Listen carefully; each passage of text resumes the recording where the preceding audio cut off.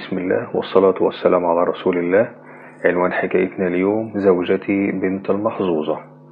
أقول لكم على حاجة قبل ما نبدأ بس ما حدش يقول لها مش هي معاها ماجستير في الإدارة العامة؟ بس صدقوني ما تعرفش حاجة في الإدارة العامة ولا حتى الخاصة.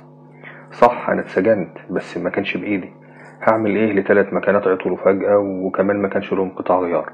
وكنت هعمل إيه للضرايب اللي حجزت على المصنع؟ هي صح وأنا مسجون نجحت في تشغيل المصنع وحققت أكبر مكاسب ممكنة وجددت حاجات وعملت حاجات كتير. بس كله بالحظ والبركة. بقول لكم ما تنسوش الإعجاب بالفيديو والاشتراك في القناة وكمان شوفوا فيديو همس الحبايب في كلام مهم جدا وفي رقم للتواصل معايا. يلا بينا على الحكاية. بالرغم من أن رسالتها للماجستير كانت في علم الإدارة العامة إلا أنها وبكل المقاييس لم تكن من وجهة النظر الواقعية والعلمية تفهم في الإدارة العامة ولا حتى الخاصة كما قلت لكم في المقدمة. فما ندرسه في الجامعات شيء وما نواجهه في الحياة العامة شيء مختلف. ولو أنني طبقت في عملي ما كانت تشير علي به لانتهى بي الأمر إلى الإفلاس الأكيد. ومع ذلك فقد شاء حظي التعس أن أترك لها مصنعي الصغير تحت رحمتها وتحت رحمة نظرياتها المتطورة في علم الإدارة. على فكرة بقول نظرياتها تأدبا فلم تكن تحمل في رأسها سوى ما يمكن تسميته بالخزعبلات الإدارية المصنع به أربع ماكينات كبيرة وعشرون عاملا وخمسة من الموظفين الإداريين.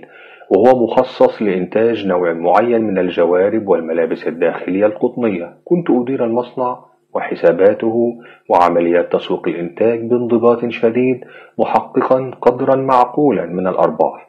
ولكني بالرغم من كل انضباطي وحزمي في الإدارة فوجئت بالمصائب تنهال علي واحدة تلو الأخرى.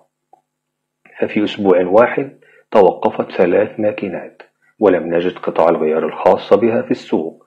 وقيل لي إن المصانع لم تعد تنتج هذا النوع من الماكينات أو حتى قطع الغيار الخاصة بها وقامت مصلحة الضرائب بتوقيع الحجز على المصنع مطالبة إياي بمبالغ رهيبة نتيجة لتقديراته الجزافية على أرباح خرافية لا يمكن أن يحققها مصنع في حجم مصنعي.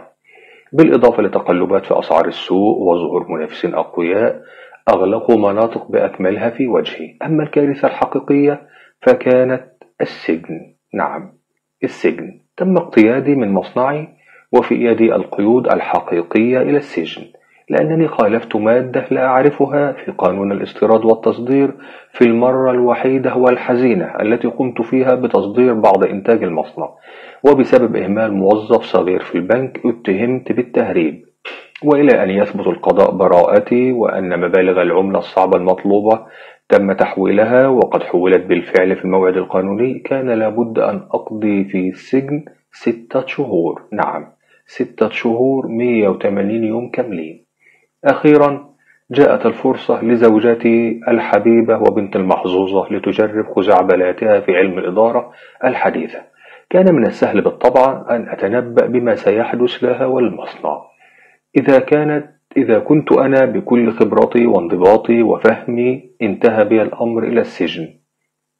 فما بالك بما سيحدث لها بكل رومانسيتها وجهلها بالواقع الوحشي للحياة العملية.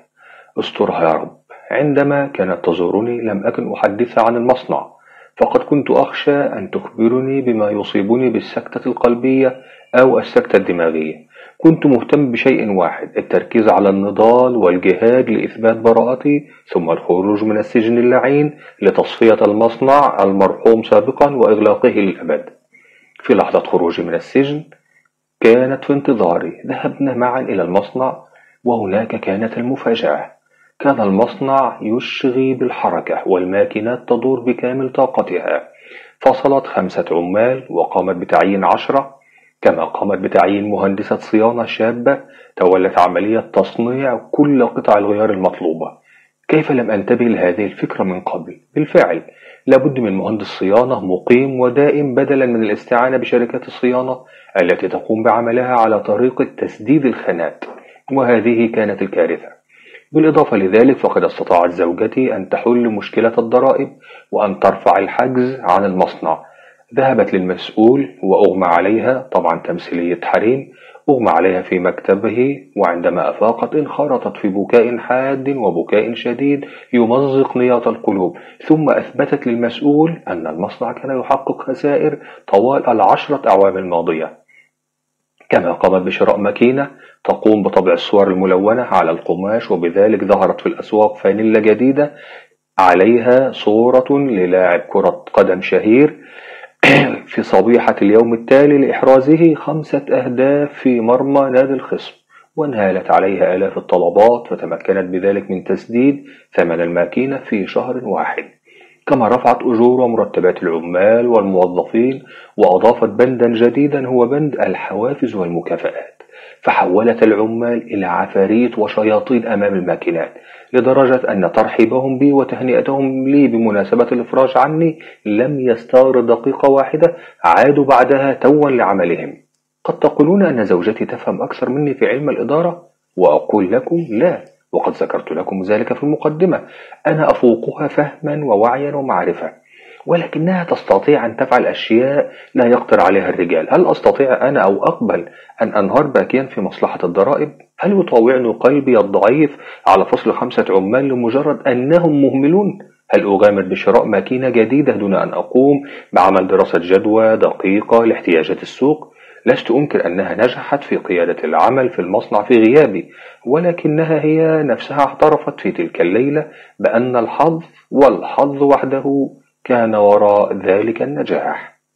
انتهت الحكاية. الحكاية. وانتظرونا في الحكاية الجاية الجاية الجاية الجاية الجاية